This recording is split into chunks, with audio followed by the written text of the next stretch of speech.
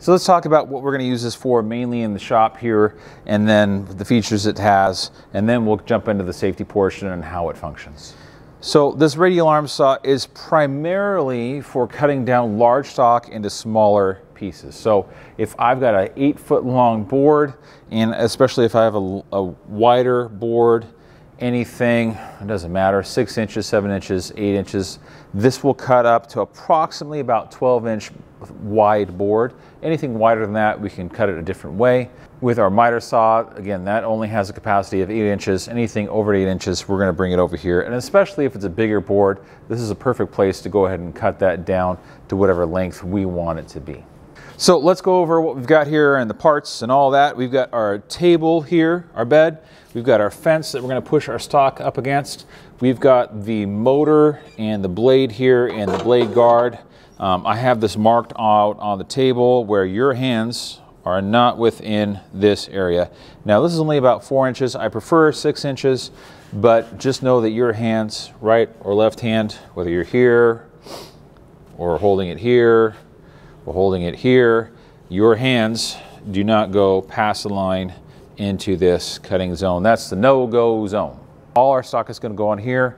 We'll measure it up to how much we want to cut off. We always want to cut off at least an inch more than we need, and so we'll go ahead and set that up. When I'm holding my stock, I'm just going to pull this out. I'm going to pull it as smoothly as possible through the machine. It will try and climb through the wood because of the rotation of the blade. It's cutting this way, so it's going to want to grab that wood a little bit. Um, so you need to be in control of this as you pull it through. Also, you need to be in control of it as it goes back on the sled to the back of the machine because it is on a cable with a spring that will pull this whole trunnion back to the back of the machine. Now, know that we can cut at angles. You can see in here that there are some angles here. We're not going to be using it for that. We're primarily going to be using this for cutting right angles, 90 degree angles right through our piece. You can also pivot this to the left and do some bevel cuts. We're not going to be doing that with this. Again, it's just for doing 90 degree cuts and only doing rough cuts. Our equipment also has our power switch right here. We've got a green button to start it or a red button to stop it. We have our safety switch here in case I need to hold my piece and not let it go and I can't reach over to hit this. I can just hit this with my leg and shut down the machine. Now, if you come over here and try and turn this on, it's not turning on. Again, you always want to give this a twist. Make sure this is not pushed in, make sure it's unlocked, and then we can go ahead and hit our green button and the machine should be working again. Now, when we're bringing our wood or our stock over, um, we want to make sure it's supported on the end.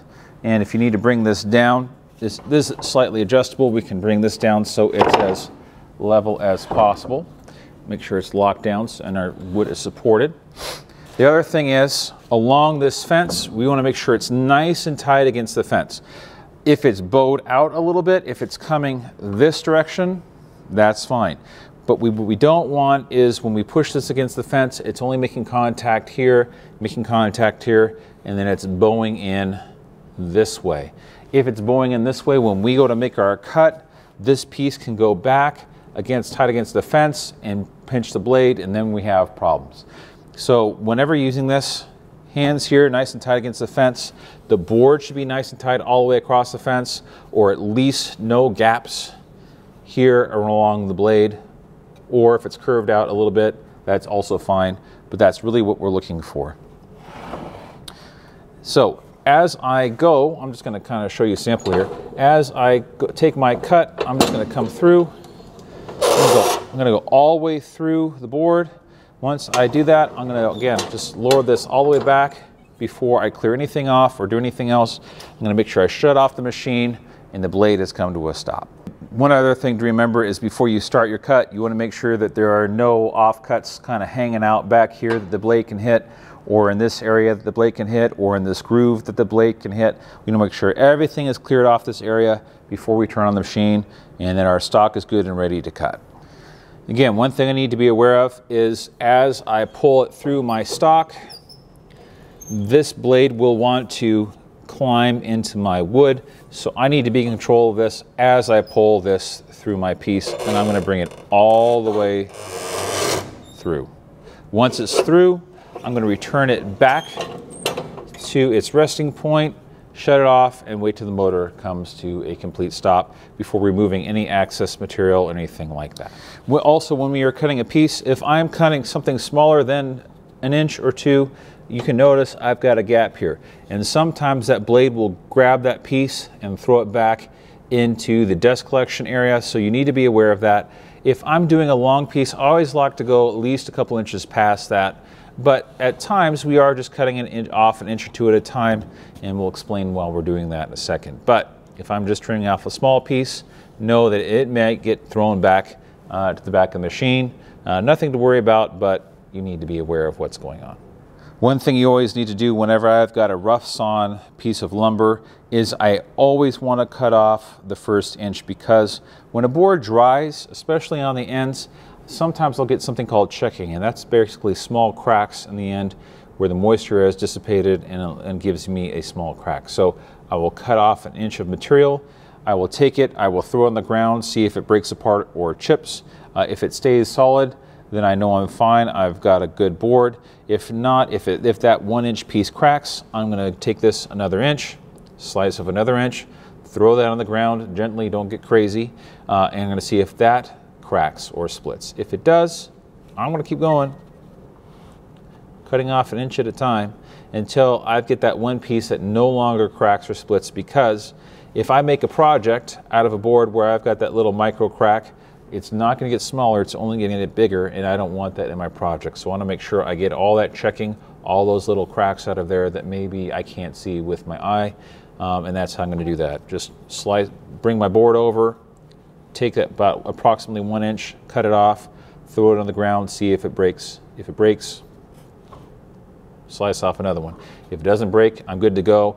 I can take from here, send this down to however long I want to cut off, plus another inch, slice this off, and then I've got my stock to go ahead and mill up.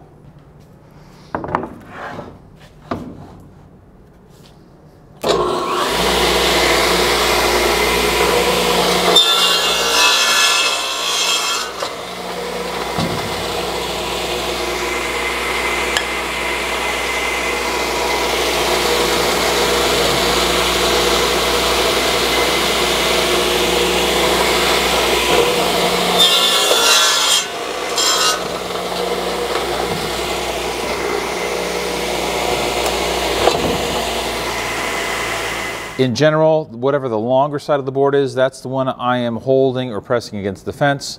And the shorter piece is just going to live here on the table, and I'm not holding that. Just one hand on the longer stock and then pulling it through. Okay? If you want to, if the longer stock happens to be on this side, right hand here, left hand, that is also an option. What I don't want to ever see, should never be done, is obviously this crossing my arms or this crossing my arms, okay? You always, whatever you want to do, if you want to do this way, my arms are not crossed. I want to go this way, my arms are not crossed. It's just that my hands are not in this zone here. Also, again, I never start with the blade here. I wait till it's up to speed, pull it through, return it back, and then shut off the machine before I remove any scraps or any small pieces. I'm not grabbing this. Even though the blade's back here, it's a good six inches away. I'm not grabbing anything from in this area that's cut off or scrap until it shuts off. Last but not least, obviously, we wait till the blade comes to full stop, complete stop, and then we take our wood away and then we can walk away from the machine. When we are cutting material, I don't have multiple boards stacked up at a time. I'm only cutting one board at a time. I don't have one, two, three, four here or them stacked up this way. Only one board, one cut at one time.